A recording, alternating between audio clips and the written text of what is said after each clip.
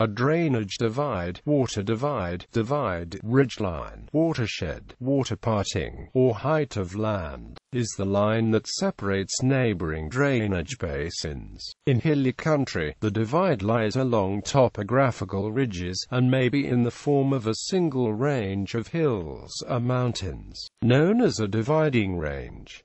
In flat country, especially where the ground is marshy, the divide may be harder to discern. A valley floor divide is a low drainage divide that runs across a valley, sometimes created by deposition or stream capture. Since ridgelines are easy to see and agree about, drainage divides are often natural borders defining political boundaries. As with the 18th century North America Royal Proclamation of 1763 that preceded the American Revolution, types drainage divides can be grouped in three types. Continental divide, a divide in which waters on each side flow to different oceans. Major drainage divide, waters on each side of the divide never meet, but they flow into the same ocean. Minor drainage divide, waters part, but eventually rejoin at a river confluence. Valley floor divides, a valley floor divide occurs on the bottom of a valley and arises as a result of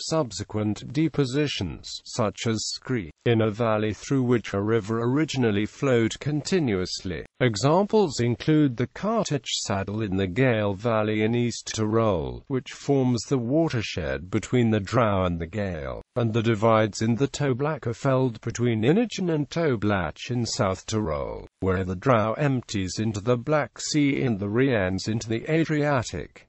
Settlements are often built on valley floor divides in the Alps. Examples are Ebern Impong, Kirchberg in Tyrol and Waidring. Extremely low divides with heights of less than 2 meters are found on the North German plain within the Urstromtäler, for example, between Havel and Finow in the Eberswalder Urstromtal. In marsh deltas such as the Okavangoard, the largest drainage area on Earth, or in large lakes areas, such as the Finnish lakeland, it is difficult to find a meaningful definition of a watershed. Another case is bifurcation, where the watershed is effectively in the riverbed, a wetland or underground. The largest watershed of this type is the bifurcation of the Orinoco in the north of South America, whose main stream empties into the Caribbean, but which also drains into the South Atlantic via the Casiquiare Canal and Amazon River.